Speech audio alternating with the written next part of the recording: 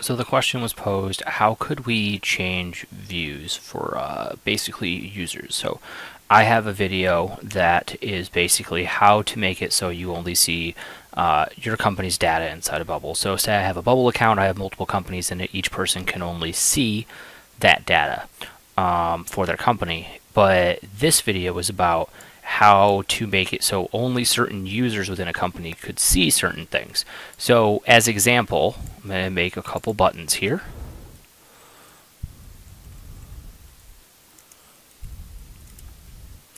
Button permission 1. I'm just going to make a bunch of the same buttons. Button permission 2.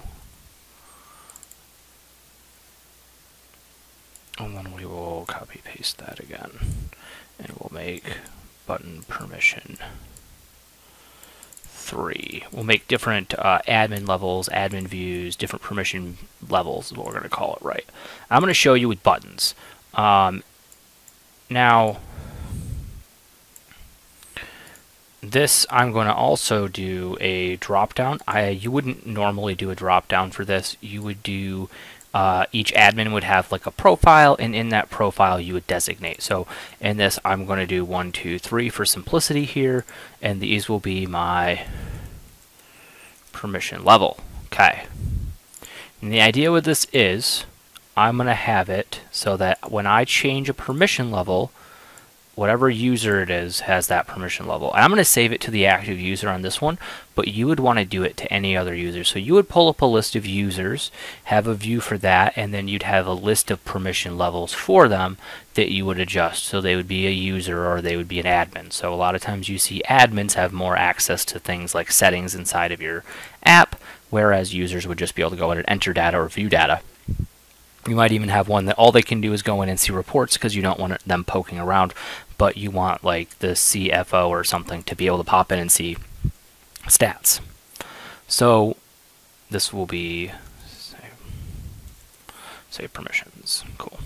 So, and again, this is going to change the user that's logged in, but you normally will have a separate screen where you'd go in and you would say each individual user. So if I pull up a user right here, my users right now have a user role. That's a field that I made. Right? I could delete that and make a new one, or I can just click create field and type in user role. I'm going to make a new one. I'm going to call it user permissions. I'm going to create that one um, just because I want to do a new one for this, but in another video I do have a user role uh, that is designated for showing some things. So also, sorry if you just heard my dog there behind me. So, I have user role, right? Users all have user role now. They have the ability to be assigned a user permission. Sorry, we're going to focus on user permission. The uh, Sorry for the confusion there. This is my sandbox account, so I have a lot of different stuff in here. Um, in this video, we're focusing on permissions. You could call them roles. Uh, we're going to call them permissions throughout this video. So I have permission levels, I can save permissions. So I'm going to say this will count, oh, sorry, data in things, make changes to a thing, thing to change, current users, we are going to change their user permissions. The user permission will equal drop down permission levels value. Great. And we're going to make it so that uh, input should not be empty. Great. So we have to click one every time we push save. Now, what is me changing the permission level of someone doesn't do anything even though I have buttons that say it because um, I haven't designated these buttons to do anything. I need to make them disappear if I'm not of the right permission level. So what we're going to set it actually is that permission 1 can see button 1, permission 2 can see permission buttons 1 and 2. Permission 3 can see permission 3, 2 and 1. Uh, we're going to do that so that we can open this up and we can see uh, permission 3 would be the highest permission. You can see all of things. Permission 2, you can see permission 2 and 1. Permission 1, you see button 1. Um, just to show the variety, um, but you could do this in any way you wanted. You could have a shape over here and the shape could show up for one permission but not another. We just have to designate that. So actually let's do it with the shape real quick where we'll say the shape has oops, sorry, go back into here. We'll do conditional. Sorry. So click on the, the shape, go to conditional, and we'll do a condition. When current users user permissions is 1.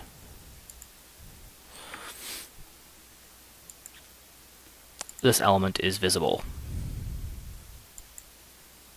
And we check the box. So with appearance here, we want to go in and this element's visible on page load. No.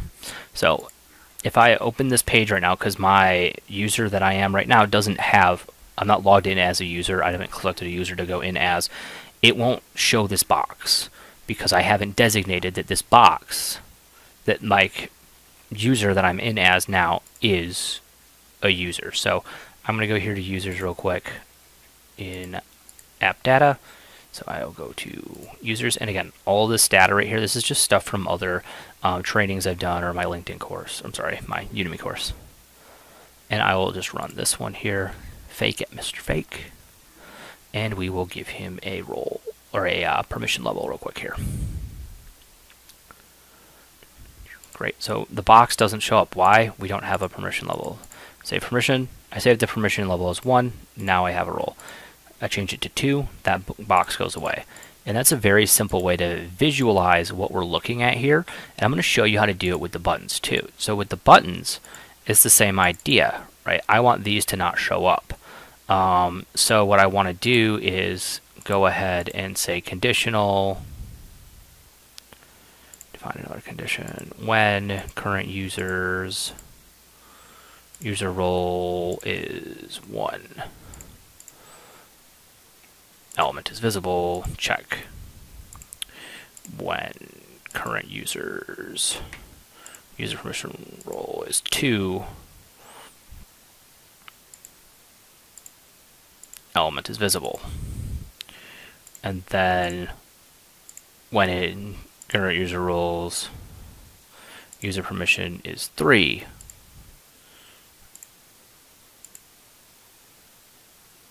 no there I did it. Sorry. Drag this up a little bit. Element is visible. Then check that box. And then I'll go back to here and I'll say element's not visible on page load. So I'll also go to this one, and this one's the one where we said, number two, you will be able to see it only if you are with two. So we will do current users, user permission is two, element is visible, check. Current users, user permissions is three, element is visible, check. We go back, we make sure it's not visible on page load, and we go to here again, and we're going to do some more stuff. We're going to use do some stuff with groups, because with groups we can make sure the page is going to look um, better. So let's do this one as not visible on page load, and it's only visible when current users user permissions is 3. Great. And then it will be element is visible. There we go. Preview. Actually, because we're still logged in, is that um, Mr. Fake, and we will see what we have here, because this should actually all show what we wanted to. So we will make our permissions 1, permissions 1. Where did we mess up with permissions 1 button? So elements not visible on page load, conditional. Current user's role is 1, element is visible. Current shows 2, element is visible. So why didn't we show up? 2, 1 and 2 showed up. 3, 3 showed up, but 1's not showing up. What did we do wrong here with 1? Is 1. Oh, did we add a space or something up here?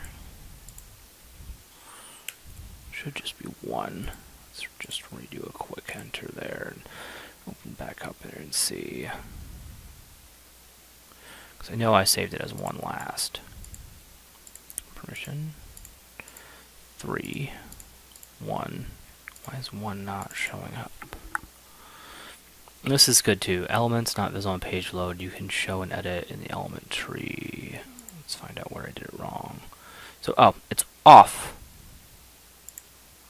on, on, on. So we want to make sure these are on. That will make sure that they are actually going to work. These are conditions. If conditions are off, they typically won't work. Reload this page. One, two, three. I'm gonna move button. Button one is actually where it's supposed to be. Hmm. I didn't select the property to change. Yes, I did. Because it shows element is visible.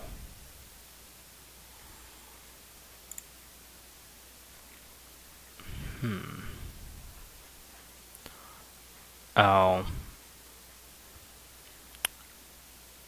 It may be that it's so far down in the list it's not going.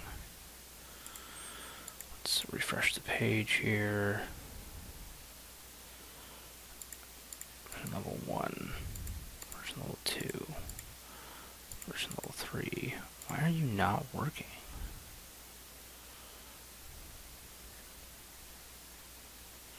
Remove that condition and let's define a new condition.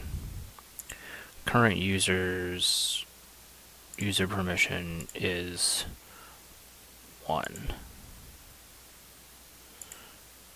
Element is visible. Element is visible. Now let's try it.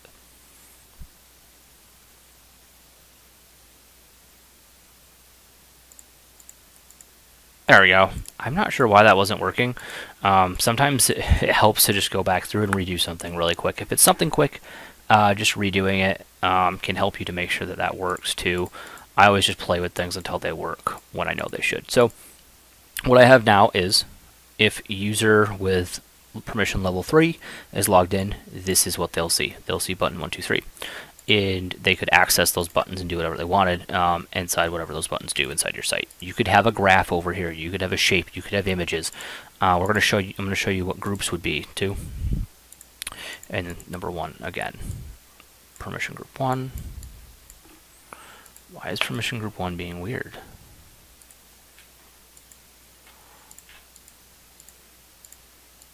What's happening in my data?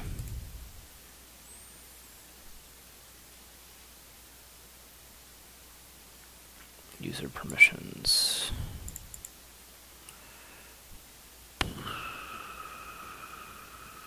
is not getting updated. But when I push this button, make changes to a user, user permissions, equal drop down levels field. And do, refresh you 1 works, works, works, works. I don't know how I broke it. It made it not work, but it works. Maybe I was just looking at it wrong. Okay, yeah, it works. Good. Sorry for any confusion that may have been caused there. I thought I broke it, but I apparently didn't break it. So say I have groups I want to move these into now, right? So I have groups of things I want permissions in. So say I want to do a, a group here. So I'll put a group here, and I will move this to the back. Grab this, make sure you're in the group. I'm going to shrink, shrink that, and I will put you in the group. I will I'm going to put one more thing in here just to show.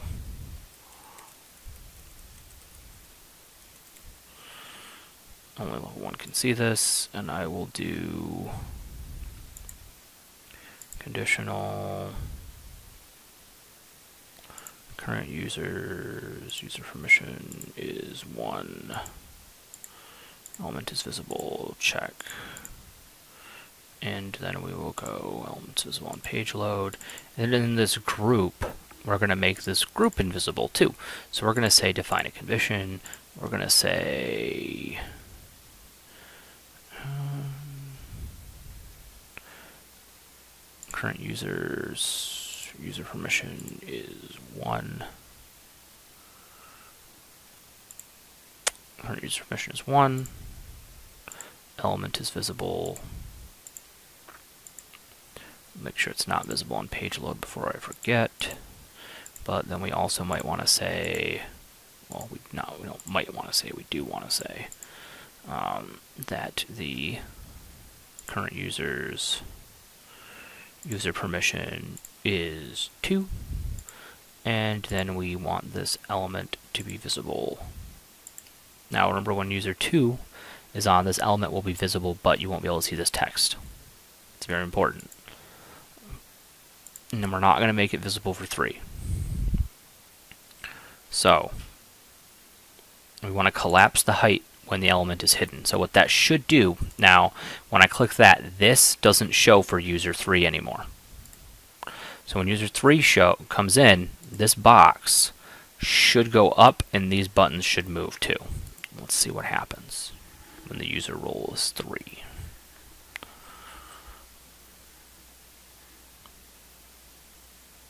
Alright, permission 1. Level 1 can see this, so we know where we're at. Level 2. Level 2 should have been able to see that box. What did I do wrong? Group A, conditional. Let's move up. On. Okay, so we want to check for level 2 before we check for level 1. And we'll redo this and we'll see what happens.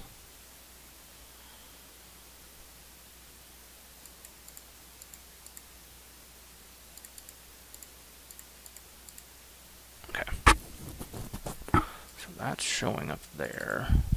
Y is element is visible, element is visible,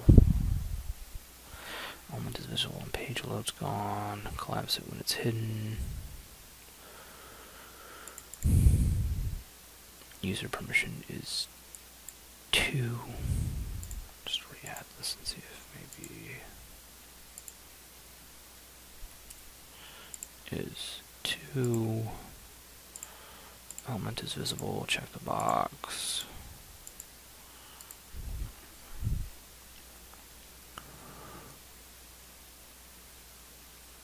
Our permission level is 1, let's change it to 2, 3.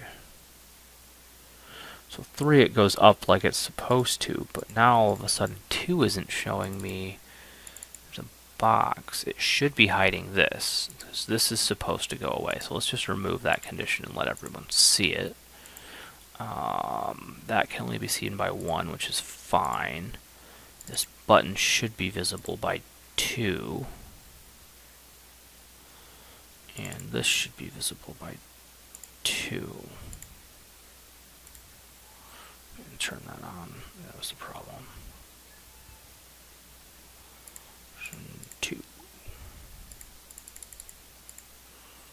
three, two, one,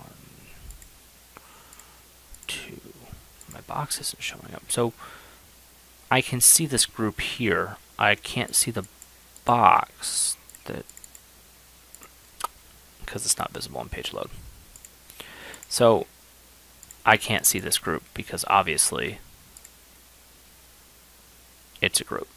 And I forgot I had hidden the box from everyone but the first one. So this was working the whole time. I just hadn't, yeah. It was working the whole time because it had a box in it. So now I can see box in two. See, it's just you have to troubleshoot these things sometimes. So three, can see those. Two, I can see these two buttons and the box. And then this right here, remember this is a group. And that's the group that disappears and we load number three. So my view is different here. And when I load one, my view is different here. But it's all one page, and it's different access. So maybe this box here is a picture. Uh, person one comes in, they have to. All they do is they come in, they verify there's a picture, and this right, text right here says there's a picture. So they push the button. Then it goes to person two. And person's two role is they come in, they see there's a picture. They also have to verify that there's a picture. They have another button down here that they have to check, or maybe it's a drop down or something, and and it says this picture is approved or unapproved. Approved or unapproved. There we go. They have a man their manager approval. Number three's role is to come in and they have access to seeing the initial picture or they have an access to seeing uh, whatever the marketing team changed it to. So you could use this for a variety of things. You could have it set up so that um, maybe you're making a CRM. Uh, inside your CRM, you have salespeople that can go in and they could see like a prospect's name, address, and everything. But maybe there's groups at your company you don't let see sales data, so that all they can do is see the customer list because that's all they need to see. Maybe you have groups at your company that only need to see financial data, so they go in and they just go in and they can only see all the opportunities that you're working, and you can filter everything that way. So uh, this is powerful for keeping people out of areas you don't want them. So say user 1, I want to be able to basically go in and view. Maybe this is a button to run a report and the report shows up over here and they can see this. Uh, maybe level 2 is the ability to go in, see the report, uh, print the report, adjust the report, uh, maybe they can assign a task to somebody to do something or enter data that affects the report and number three has the permission to go in and alter everyone else's permissions. So um, altering permissions is pretty pop pretty uh, powerful for um, changing how your app, will app, um, operate. Um, I have another video I'm gonna look up and see um, if I have it on YouTube here that goes over this. I know I have it in a Udemy course that I made a while back, but the the idea with it is basically you give everyone roles and it cycles through a series of roles that say person permission group 1 would get something they would get this and then they would verify push the button. It goes to number 2 they would verify push the button. It goes to number 3 they would verify push the button and it works through like a workflow you could build that way. Um, that's pretty powerful because you're able to go in and say um, this is a workflow we've designed, and it goes through parts A, B, C, and D, and it's a special process that's unique to a company. So you can build that out for a company, and then they basically just have a workflow for all the stuff that they're doing, and you can at any point in time see where an object is in. So you might have a thing inside of a database, right? So we could define a thing, right? A thing in Bubble is something that we can store data in, right? So this might be a chair and then actually I'll build this inside of data. So we might make a new data type, uh, new data type, chair. And the field could be finished state, and we would have a series of things that we could put into here that would be it. So I'll call it text for now, but maybe we have drop downs that designate where it is. So unfinished might be where it starts, but it can move through a series, right? Unfinished, in process, and finished might be my three states. I also can say um, is painted. I could make that a yes or no field that gets filled out by one of the roles. So maybe permission group 1 goes in, they mark it as in process, they start making a set of chairs, right? So I have a quantity here now. So I have a number that I'm going to store. And the number will be, this is how many chairs we have. Right? So this is chairs that are marked. We're going to create a thing called a chair. We're going to enter this thing that is a chair and we're going to have that. And maybe this chair is attached to a project. So we have a project that it's attached to. So we have a project that's going through and it's a project of chairs that we're building and we're going to track um, if it's painted and the quantity and the finished state as it works through a workflow that we've defined and you can have different users adding in different data and only able to view it once it's moved through different stages of the process, which you could then also define with stage. So if you have um, stages here, you would then have it rolling through a series of stages, and maybe the stages are